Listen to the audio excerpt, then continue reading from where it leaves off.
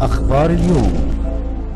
مسعود الحيدر رئيس الغرفة التجارية الصناعية بنجران صاحب شركة مجموعة الفاف السعودية. آه، أتيت طبعا مع برفقة الملك حفظه الله في زيارة تاريخية. آه، جسدها حضوره القرارات أو الاتفاقيات اللي وقعت كانت بحجم الزياره قرارات كبيرة وكان الحقيقة الشيء الأهم في الموضوع هو الجسر اللي يربط المملكة العربية السعودية بمصر أو بالأصح يربط قارة آسيا بأفريقيا. وهذا الحقيقة بادرة طيبة أو مهمة بالنسبة للاقتصاد والاستثمار. تسهيل التنقلات تسهيل وصول البضائع تسهيل الحقيقة أمور كثير. يعني الرحلات الدينية الحجاج هذا الجسر الحقيقة كان من من أهم ما برز في الاتفاقيات والحمد لله الاتفاقيات الأخرى التجارية والأمنية وال يعني اتفاقيات كثير حوالي 17 اتفاقية لاحظتوها وبرزت بالنسبة بين الوزراء وقعوها الوزراء سواء في السعودية أو في مصر. فزيارة الحقيقة تعتبر تاريخية. هل حضرتك النهارده بعد الملتقى بتاع منتدى الاستثمار رجال الاعمال المصريين والسعوديين هل أنت شايف إن فرصه فرصة المنتدى كان فرصة طيبة إن أنت ممكن تخش تشارك في الاستثمار المصري؟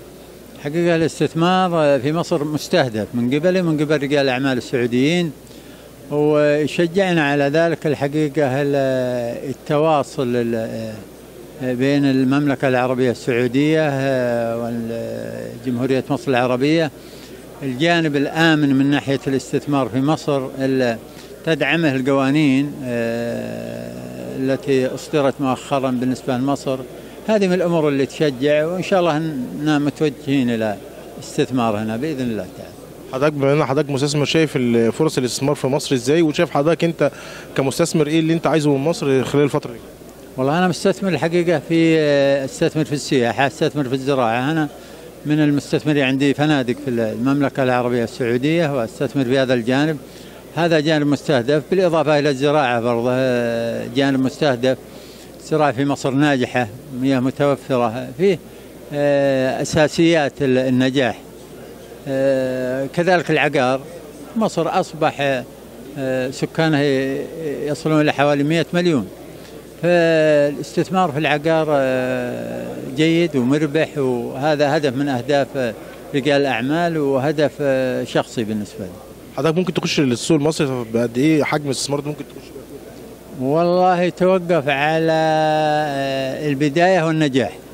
يعني قديم تد استثماراتي إلى 500 600 700 مليون في هذا الرنج إلى أن تتضح الرؤية وقد تصل المبالغ إلى أكبر.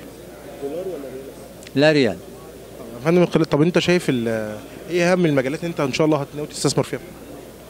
قلت لك مجالات السياحة اللي هي الفندقة والمنتجعات ومجالات الزراعة المجال الزراعي. في دراسة لبعض المشاريع فيه دراسة نعم.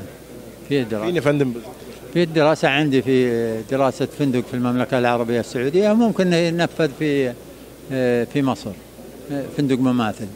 في والله إلى الحين ما قررت شرم الشيخ أو الإسكندرية أو القاهرة يعني يعتمد على الدراسة. حضرتك شايف إيه الفرص أو إيه هي الحاجات اللي أنت بتطلبها من الحكومة المصرية كمستثمر خلال الفترة اللي جاية عشان والله اللي أطلبه هو سهولة الإجراءات. الأنظمة الثابتة الغير متغيرة. هذه مشجعة المستثمر.